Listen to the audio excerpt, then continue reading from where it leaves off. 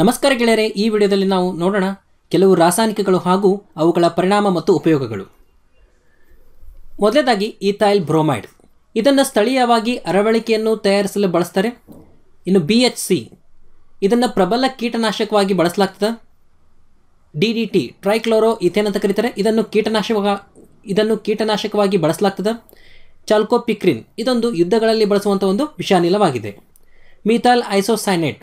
ಇದೊಂದು ವಿಷಾನಿಲವಾಗಿದ್ದು, ಇದು ಹತ್ತೊಂಬತ್ತರ ಎಂಬತ್ನಾಲ್ಕರ ಭೋಪಾಲ್ ಅನಿಲ ದುರಂತದಲ್ಲಿ ಸೋರಿಕೆಯಾದಂಥ ಒಂದು ಅನಿಲವಾಗಿತ್ತು. ಇನ್ನು ಜಿಯೋಲೈಟ್, ಇದನ್ನು ಸೋಡಿಯಂ, ಅಲ್ಯೂಮಿನಿಯಂ, ಸಿಲಿಕೇಟ್ ಅಂತ ಕೂಡ ಕರೀತಾರೆ. ಇದನ್ನು ಗಡಸು ನೀರನ್ನು ಮೆದುಗೊಳಿಸಲು ಬಳಸ್ತಾರೆ. ಇನ್ನು ಪೊಟ್ಯಾಷಿಯಂ ಬ್ರೋಮೈಡ್, ಇದನ್ನು ಫೋಟೋಗ್ರಫಿಯಲ್ಲಿ ಮತ್ತು ಶಿಲಾಮುದ್ರಣ ತಯಾರಿಕೆಯಲ್ಲಿ ಬಳಸಲಾಗ್ತದೆ. ಇನ್ನು ಸೋಡಿಯಂ ಹೈಡ್ರಾಕ್ಸೈಡ್, ಇದನ್ನು ಕಾಸ್ಟಿಕ್ ಸೋಡಾ ಅಂತಲೂ ಕೂಡ ಕರೀತಾರೆ. ಇದನ್ನು ಸಾಬೂನು, ಕಾಗದ ಮತ್ತು ಕೃತಕ ರೇಷ್ಮೆ ತಯಾರಿಕೆಯಲ್ಲಿ ಬಳಸಲಾಗ್ತದೆ. ಕ್ಲೋರೋಫಾರಮ್ ಇದನ್ನು ಪ್ರಜ್ಞೆ ತಪ್ಪಿಸಲು ಬಳಸಲಾಗ್ತದೆ. ಇನ್ನು ಕ್ವಿನೈನ್, ಇದು ಮಲೇರಿಯಾ ಜ್ವರ ನಿವಾರಿಸಲು ಬಳಸುವಂಥ ಒಂದು ಉಪಯುಕ್ತ ವಸ್ತುವಾಗಿದೆ. ಇನ್ನು ಪ್ಯಾರಾಸಿಟಮಲ್, ಇದು ಜ್ವರ ನಿವಾರಕವಾಗಿ ಇದನ್ನು ಬಳಸಲಾಗ್ತದೆ. ಇನ್ನು ಅಸೆಟೈಲ್, ಸ್ಯಾಲಿಸಿಲಿಕ್ ಅಥವಾ ಆಸ್ಪೆರಿನ್ ಅಂತ ಕರೀತಾರೆ, ನೋವು ನಿವಾರಕವಾಗಿ ಇದನ್ನು ಬಳಸಲಾಗ್ತದೆ. ಇದನ್ನು ಜ್ವರ ನಿವಾರಕವಾಗಿ ಮತ್ತು ಸೋಂಕು ನಿವಾರಕವಾಗಿಯೂ ಕೂಡ ಬಳಸಲಾಗ್ತದೆ. ಇನ್ನು ಕಾರ್ಬೋರಂಡಮ್, ಇದು ವಜ್ರದ ನಂತರ ಗಟ್ಟಿಯಾದಂತಹ ಒಂದು ವಸ್ತುವಾಗಿದೆ. ಇದನ್ನು ಕಬ್ಬಿಣದ ವಸ್ತುವನ್ನು ಸಾಣೆ ಹಿಡಿಯುವವರು ಘರ್ಷಕವಾಗಿ ಇದನ್ನು ಏನು ಮಾಡ್ತಾರೆ? ಬಳಸ್ತಾರೆ. ಇನ್ನು ಸ್ಟ್ರೆಪ್ಟೋಮೈಸಿನ್ ಅಂತ ಕರೀತಾರೆ. ಅದು ಏನಪ್ಪ ಅಂತಂದರೆ ಕ್ಷಯರೋಗ ನಿವಾರಣೆಗೆ ಬಳಸ್ತಾರೆ ಅದನ್ನು. ಇನ್ನು ಇಥಲೀನ್, ಇದು ಹಣ್ಣು ಮಾಡಲು ಬಳಸುವಂಥ ಒಂದು ರಾಸಾಯನಿಕ ವಸ್ತುವಾಗಿದೆ. ಈ ಬಾಳೆಹಣ್ಣು ಆಗಿರ್ಬೋದು, ಮಾವಿನ ಹಣ್ಣು ಆಗಿರ್ಬೋದು, ಅದನ್ನು ಹಣ್ಣು ಮಾಡಲಿಕ್ಕೆ ಮಾವಿನಕಾಯಿ ಅಥವಾ ಬಾಳೆಕಾಯಿ ಏನಿರ್ತದಲ್ಲ ಅದನ್ನು ಹಣ್ಣು ಮಾಡಲಿಕ್ಕೆ ಇಥಿಲೀನನ್ನು ಬಳಸ್ತಾಗ್ತದೆ ಇನ್ನು ಇಥಾನಾಲ್, ಇದು ಆಲ್ಕೋಹಾಲ್ ತಯಾರಿಸಲು ಇದನ್ನು ಬಳಸ್ತಾರೆ. ಗಂಧಕ ರಬ್ಬರನ್ನು ಗಟ್ಟಿಗೊಳಿಸಲು ಇದನ್ನು ಬಳಸಲಾಗ್ತದೆ. ಇದಕ್ಕೆ ವಲ್ಕನೀಕರಣ ಅಂತೇಳಿ ಕರೀತಾರೆ. ಸಲ್ಫುರಿಕ್ ಆಮ್ಲ. ಬ್ಯಾಟ್ರಿಗಳಲ್ಲಿ ಸಲ್ಫುರಿಕ್ ಆಮ್ಲವನ್ನು ಬಳಸಲಾಗ್ತದೆ. ಇನ್ನು ತಂಪು ಪಾನೀಯ ತಯಾರಿಕೆಯಲ್ಲಿ ಕಾರ್ಬೋನಿಕ್ ಆಮ್ಲವನ್ನು ಬಳಸ್ತಾರೆ. ಇನ್ನು ವಾಷಿಂಗ್ ಸೋಡಾ ತಯಾರಿಕೆಯಲ್ಲಿ ಸೋಡಿಯಂ ಕಾರ್ಬೋನೇಟನ್ನು ಬಳಸ್ತಾರೆ. ಇನ್ನು ಅಸಿಟಿಕ್ ಆಮ್ಲ, ಇದನ್ನು ವಿನೆಗರ್ ತಯಾರಿಕೆಯಲ್ಲಿ ಬಳಸ್ತಾರೆ. ಇಂಗಾಲದ ಡೈಆಕ್ಸೈಡ್, ಇದನ್ನು ಅಗ್ನಿಶಾಮಕ ಯಂತ್ರಗಳಲ್ಲಿ ಕೂಡ ಏನು ಮಾಡ್ತಾರೆ? ಬಳಸ್ತಾರೆ. ಇನ್ನು ದ್ರವ ಜಲಜನಕ ಮತ್ತು ದ್ರವ ಆಮ್ಲಜನಕ, ಇದನ್ನು ರಾಕೆಟ್ ಇಂಧನಗಳಲ್ಲಿ ಇದನ್ನು ಬಳಸಲಾಗ್ತದೆ. ಇನ್ನು ವಿದ್ಯುತ್ ದೀಪ ಮತ್ತು ಜಾಹೀರಾತ್ ದೀಪಗಳಲ್ಲಿ ಆರ್ಗಾನ್ ಮತ್ತು ನಿಯಾನನ್ನು ಬಳಸ್ತಾರೆ. ಇನ್ನು ಆಹಾರ ಸಂರಕ್ಷಣೆಗಾಗಿ ದ್ರವಸಾರ ಜನಕವನ್ನು ಬಳಸ್ತಾರೆ. ಆಕ್ಸಿ ಅಸಿಟಲೀನ್ ಇದನ್ನು ಲೋಹಗಳ ಬೆಸಿಗೆ ಹಾಕಲು ಇದನ್ನು ಬಳಸ್ತಾರೆ. ಇನ್ನು ಪೊಟ್ಯಾಷಿಯಂ ನೈಟ್ರೇಟನ್ನು ಮದ್ದುಗುಂಡುಗಳಲ್ಲಿ ಬಳಸಲಾಗ್ತದೆ. ಹೈಡ್ರೋಕ್ಲೋರಿಕ್ ಆಮ್ಲವನ್ನು ಟೈಲ್ಸ್ ಸ್ವಚ್ಛಗೊಳಿಸಲು ಬಳಸ್ತಾರೆ. ಒಣ ಘನ ಇಂಗಾಲದ ಡೈಆಕ್ಸೈಡನ್ನು ಆಹಾರ ಸಂಸ್ಕರಣೆಯಲ್ಲಿ ಬಳಸುವರು. ಇನ್ನು ಅಮೋನಿಯಾ ಇದನ್ನು ರಸಗೊಬ್ಬರಗಳಲ್ಲಿ ಬಳಸ್ತಾರೆ. ನೈಟ್ರಸ್ ಆಕ್ಸೈಡ್ ಅಥವಾ ಎಂಟು ಅಂತ ಕರಿತೀವಿ. ಇದನ್ನು ನಗಿಸುವ ಅನಿಲ ಅಂತೇಳಿ ಕರೀತಾರೆ. ಇದನ್ನು ಮನರಂಜನೆಗಾಗಿ ಬಳಸ್ತಾರೆ. ಇದು ವೈದ್ಯಕೀಯವಾಗಿ ಯುಪೋರಿಯಾ ಉಂಟು ಮಾಡಿ ನಗುವಂತೆ ಮಾಡುತ್ತದೆ. ಕಾರ್ಬನ್ ಡೈಆಕ್ಸೈಡ್ ಇದನ್ನು ಅಗ್ನಿಶಾಮಕ ಸಲಕರಣೆಗಳಲ್ಲಿ ಉಪಯೋಗಿಸುವಂಥ ಅನಿಲವಾಗಿದ್ದು. ಇನ್ನು ಟಿಯರ್ ಗ್ಯಾಸ್, ದೋಂಬಿ ಗಲಭೆ ಹಿಂಸಾಚಾರಗಳನ್ನು ನಿಯಂತ್ರಿಸಲು ಪೊಲೀಸರು ಬಳಸುವಂಥ ಮಾರಕ ಅನಿಲವಾಗಿರ್ತದೆ ಇದು ಟಿಯರ್ ಗ್ಯಾಸ್ ಆಗಿರ್ತದೆ.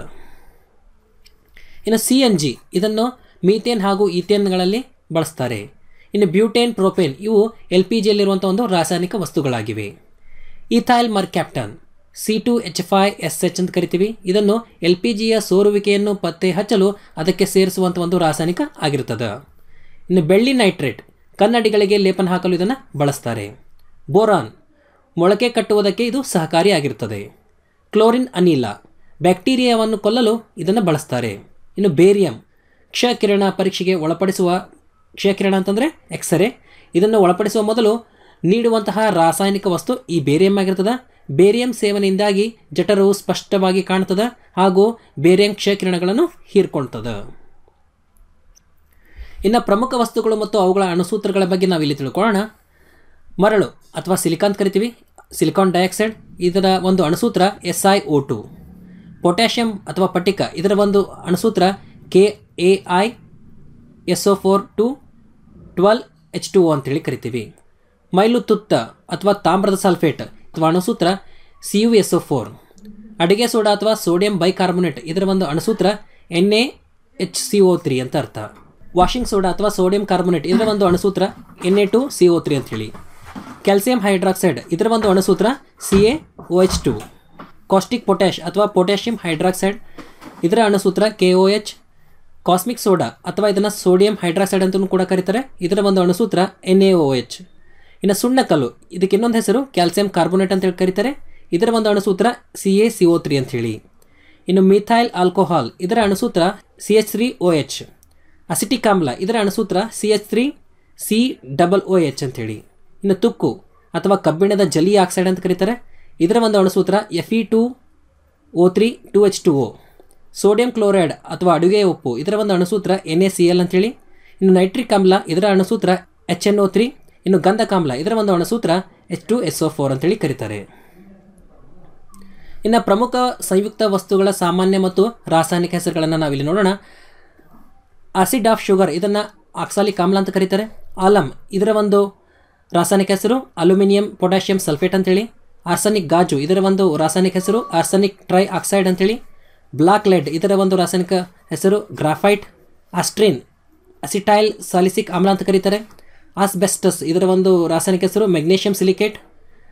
ಬೋರಾಕ್ಸ್, ಇದರ ಒಂದು ರಾಸಾಯನಿಕ ಹೆಸರು sodium borate. Caustic soda, sodium hydroxide. Diamond, carbon crystal, formalin ದ್ರವ ಫಾರ್ಮಲ್ಡಿಹೈಡ್ ಅಂತ ಕರೀತಾರೆ. ಇನ್ನು ಇಂಡಿಯನ್ ರೆಡ್ ಇದರ ಒಂದು ರಾಸಾಯನಿಕ ಹೆಸರು ಫೆರಿಕ್ ಆಕ್ಸೈಡ್ ಅಂತ ಕರೀತಾರೆ. ಇನ್ನು ವಿಜ್ಞಾನದ ವಿಷಯಗಳು ಮತ್ತು ಅವುಗಳ ಪಿತಾಮಹರನ್ನು ನಾವಿಲ್ಲಿ ನೋಡೋಣ. ವಿಕಾಸವಾದದ ಸಿದ್ಧಾಂತದ ಪಿತಾಮಹ ಚಾರ್ಲ್ಸ್ ಡಾರ್ವಿನ್, ಅನುವಂಶೀಯವಾದದ ಪಿತಾಮಹ ಗ್ರೆಗರ್ ಮೆಂಡಲ್, ಅಣುಚಲನವಾದದ ಪಿತಾಮಹ ಡಿಎನಿಯಲ್ ಬನ್ಮೋಲಿ, ಚಲನಶಾಸ್ತ್ರದ ಪಿತಾಮಹ ಐಸಾಕ್ ನ್ಯೂಟನ್, ಪರಮಾಣು ಸಿದ್ಧಾಂತದ ಪಿತಾಮಹ ಜಾನ್ ಡಾಲ್ಟನ್ ಆಧುನಿಕ ಪರಮಾಣು ತತ್ವ ಸಿದ್ಧಾಂತದ ಪಿತಾಮಹ ನೀಲ್ ಡೇವಿಡ್ ಬೋರ್, ಸೌರ ಕೇಂದ್ರ ಸಿದ್ಧಾಂತದ ಪಿತಾಮಹ ಕೋಪರ್ನಿಕಸ್, ಗ್ರಹಗಳ ಚಲನೆಯ ನಿಯಮ ಸಿದ್ಧಾಂತದ ಪಿತಾಮಹ ಜೋಹಾನ್ಸ್ ಕೆಪ್ಲರ್, ಅಯಾನೀಕರಣ ಸಿದ್ಧಾಂತದ ಪಿತಾಮಹ ಸ್ವಾಂಟೆ ಹರಿ ಹೀನಿಯಸ್ ಅಂತೇಳಿ, ಇನ್ನು ಆವರ್ತ ಕೋಷ್ಟಕ ಇದರ ಒಂದು ಪಿತಾಮಹ ಡಿಮಿಟ್ರಿ ಮೆಂಡಲೀವ್ ಅಂಥೇಳಿ ನೆಬ್ಯುಲರ್ ಸಿದ್ಧಾಂತ ಇದರ ಒಂದು ಪಿತಾಮಹ ಲಾಪ್ಲೆಸ್, ಸಾಪೇಕ್ಷವಾದ ಸಿದ್ಧಾಂತದ ಪಿತಾಮಹ ಐನ್ಸ್ಟೀನ್, ಜೀವಶಾಸ್ತ್ರದ ಪಿತಾಮಹ ಅರಿಸ್ಟಾಟಲ್ ವೈದ್ಯಕೀಯ ಶಾಸ್ತ್ರದ ಪಿತಾಮಹ ಹಿಪೋಕ್ರೆಟಿಸ್ ಅಂಗರಚನಾಶಾಸ್ತ್ರದ ಪಿತಾಮಹ ಚರಕ, ಪ್ಲಾಸ್ಟಿಕ್ ಸರ್ಜರಿಯ ಪಿತಾಮಹ ಸುಶ್ರುತ ಮತ್ತು ಯೋಗಶಾಸ್ತ್ರದ ಪಿತಾಮಹ ಪತಂಜಲಿ ಆಗಿದ್ದಾರೆ. ಇಲ್ಲಿಯವರೆಗೆ ಇಷ್ಟು ವಿಷಯಗಳ ಬಗ್ಗೆ ನಾವು ತಿಳಿದುಕೊಂಡೆವು. ಧನ್ಯವಾದಗಳು.